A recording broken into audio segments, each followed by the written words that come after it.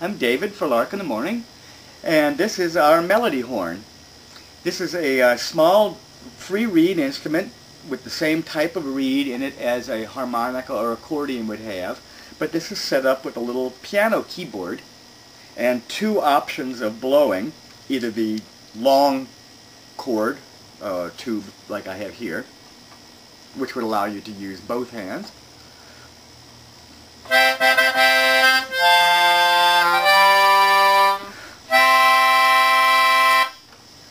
and the smaller mouthpiece with, with the handle here would allow you to do this.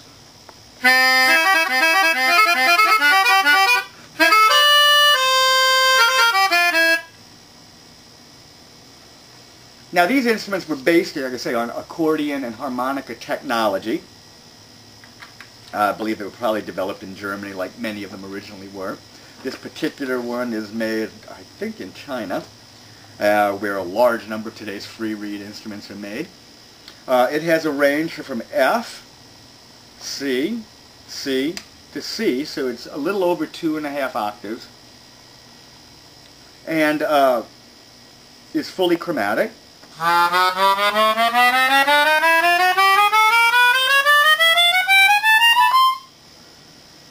And uh, uh, allows you to have a bit of a tone color of harmonicas or accordions available with a little bit more ease of playing specific passages because of the keyboard on it.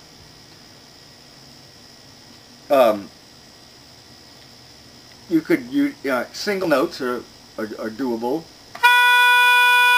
You do have to blow a little harder to keep the air pressure up when you play chords. If I watch what happens when I don't change my breath pressure.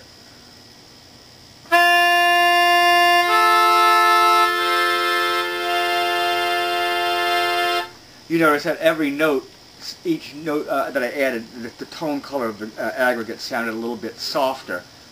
Whereas watch what happens if I do it this way, where I keep the breath pressure higher.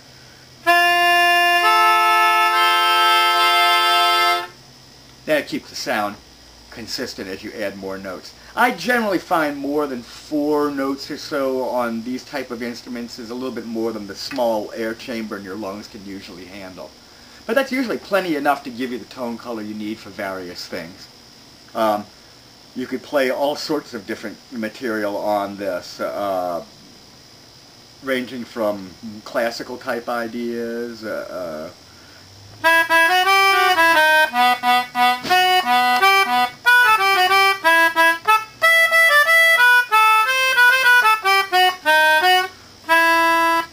to folksy type ideas.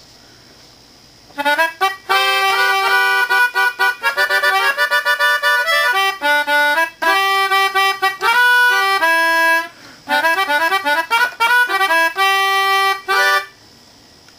little bit of Zydeco kind of feel, to even faking perhaps rock organ type parts.